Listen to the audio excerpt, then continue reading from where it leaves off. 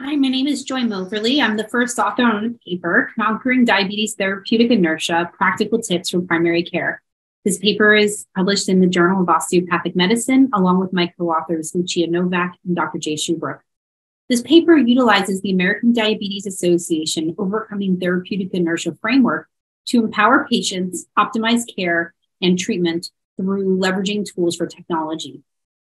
We know that therapeutic inertia is often the failure to act.